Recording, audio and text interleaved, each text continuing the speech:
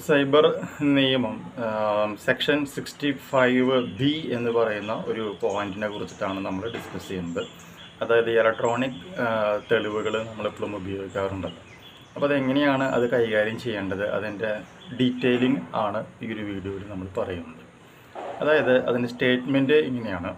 Any person has a media which is in the form of electronic record that is printed on paper stored, uh, received, or copied in optical or magnetic media produced by a computer or records videos or photos through the phone or any other electronic device and wants to present it as a piece of evidence in the court then that person who is captured that evidence has to submit the self declaration notice certifying that I am the concerned person who has captured the proof in a phone or electronic device, then only the court can pass the order, considering that proof as valid evidence under the law എന്നാണ് പറയുന്നത് അതായത് ഏതെങ്കിലും ഒരു electronic device ഉപയോഗിച്ചുകൊണ്ട് നമ്മൾ എന്തെങ്കിലും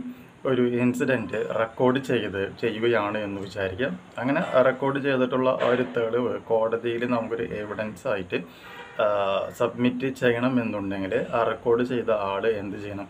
ഒരു self declaration form create ചെയ്യണം. അങ്ങനെ ഫോം ക്രിയേറ്റ് ചെയ്തതിന് ശേഷം ഈ ഒരു വീഡിയോ റെക്കോർഡ് ചെയ്തത് ഞാനാണെന്നും അതൊരു തെളിവായി കോടതി സ്വീകരിക്കണം എന്ന് പറഞ്ഞുകൊണ്ട് ഒരു അപേക്ഷ നമ്മൾ കൊടുത്തു കഴിഞ്ഞിട്ടുണ്ടെങ്കിൽ ഡിക്ലറേഷൻ കൊടുത്തു കഴിഞ്ഞിട്ടുണ്ടെങ്കിൽ കോടതി ആ അപേക്ഷ അല്ലെങ്കിൽ ഡിക്ലറേഷൻ സ്വീകരിക്കുകയും അതൊരു എവിഡൻസ് ആയിട്ട് അംഗീകരിക്കുകയും ചെയ്യുമെന്നാണ് ഐ ടി ആക്ട് സെക്ഷൻ അറുപത്തി അഞ്ച് ബി എന്ന് പറയുന്നതിൽ പറയുന്ന പ്രധാനപ്പെട്ട പോയിന്റ് അപ്പോൾ അതിൽ പറഞ്ഞിട്ടുള്ള സ്റ്റേറ്റ്മെന്റാണ് നമ്മൾ ആദ്യം പറഞ്ഞ് വെച്ചിട്ടുള്ളത്.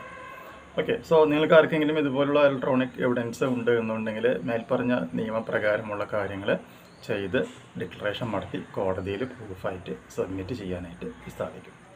ഈ ഒരു ഇൻഫോർമേഷൻ നിങ്ങൾക്ക് യൂസ്ഫുൾ ആയിട്ടുണ്ടെങ്കിൽ തീർച്ചയായും നമ്മുടെ ചാനലൊന്ന് സബ്സ്ക്രൈബ് ചെയ്യുക. തൊട്ടടുത്ത് കാണുന്ന ആ ബെൽ ബട്ടൺ എനേബിൾ ചെയ്യുക. പുതിയൊരു വീഡിയോ ആയിട്ട് വീണ്ടും കാണാം. ബൈ